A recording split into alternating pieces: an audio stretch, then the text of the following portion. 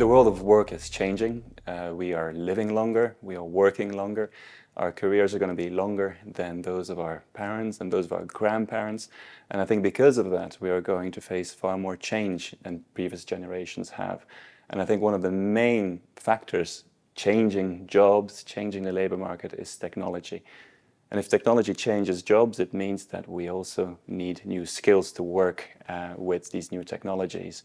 And I think if we don't keep up with these changes in skills, if people, if employers, if societies in general don't keep up with these changes in skills, we risk falling behind. And I think this is why the Digital Skills Forum is so important, because it's a challenge that we all face. Uh, we're all in the same boat. And by exchanging, by talking, by identifying jointly the challenges, the problems, discussing them, and also identifying solutions and best practice, I think that's one first and important step in terms of tackling the challenge.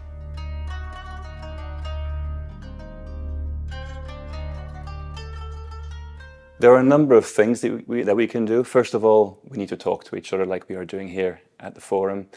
I think social dialogue where we bring everybody around the table, whether it's employers or workers or um, civil society, researchers, all of us have something to contribute to solving this problem. So I think talking to each other is the first step.